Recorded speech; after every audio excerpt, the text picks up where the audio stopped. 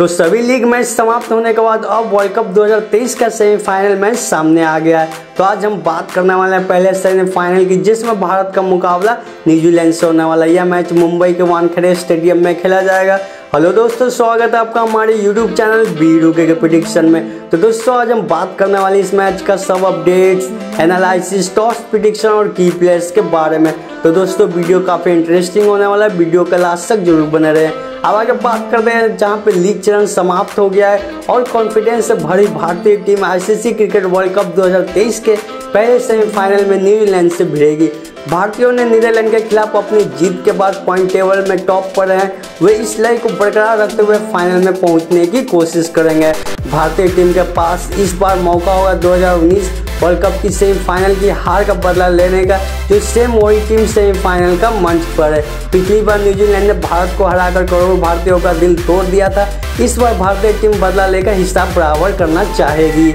अब अगर बात करते हैं, पहले दो टीमों का world cup head to head check करते हैं। जहाँ पे टोटल मैच नौ खेलेंगे तो वहीं भारतीय टीम ने चार मैच जीत के आई है, वहीं न्यूजीलैंड पाँच मैच जीत के आ रही है। वहीं अगर पिच रिपोर्ट की बात की जाए तो यहाँ के मैदान बैटिंग के लिए एकदम परफेक्ट है, जिससे बैटर्स के लिए एक बाउंड्री पार करना आसान हो जाता है। हमें इस मैदान पर पहले बैटिंग करने वाली टीम से 320 प्लस स्कोर की उम्मीद है। इस मैदान पर 300 से नीचे कुछ एनफ नहीं होगा।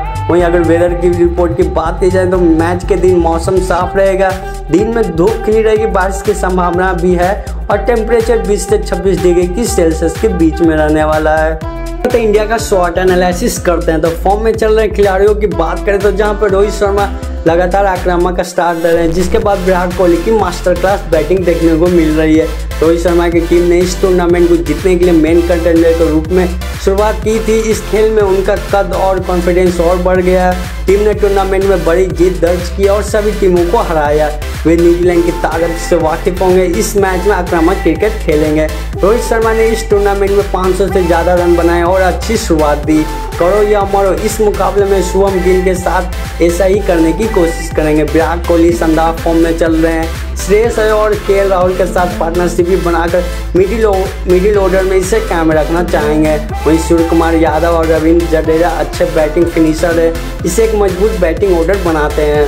वहीं अगर बॉलिंग यूनिट में बात करते हैं जहाँ पे मोहम्मद शमी पाँच मैचों में सोलह विकेट के साथ टीम के लिए विकेट लेने वाले बॉलर बन गए हैं। जसप्रीत बुमराह सत्रह विकेट जबकि रविंद्र जडेजा ने सोलह विकेट लिए हैं।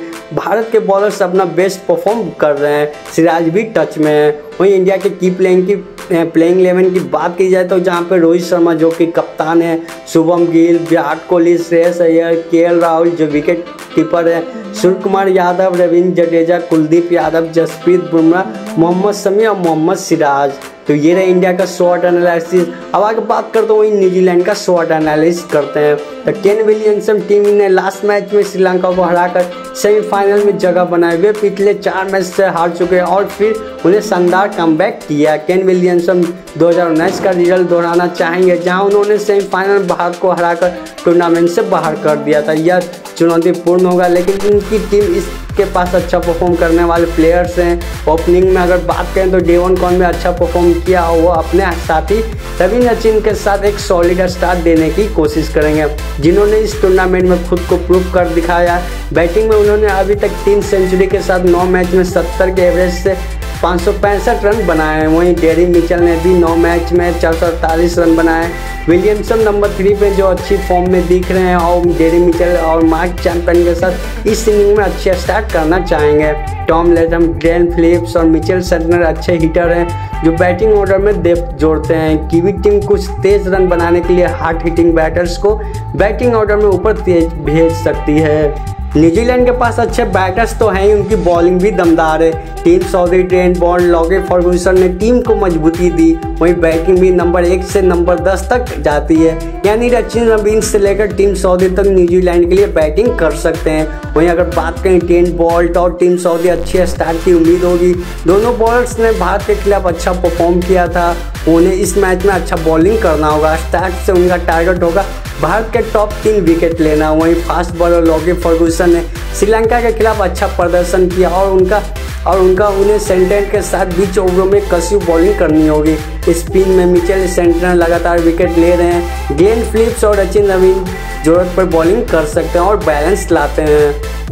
अब अगर बात करते हैं न्यूजीलैंड का प्लेइंग इलेवन, देखते हैं जहाँ पे Kane Williamson, Devon Conway, Rachin Ravindra, Daryl Mitchell, Mark Chapman Glenn Phillips, Tom Latham जो विकेट कीपर है, Mitchell Santner, Tim Southee Lockie Ferguson और टेंट बोल्ट।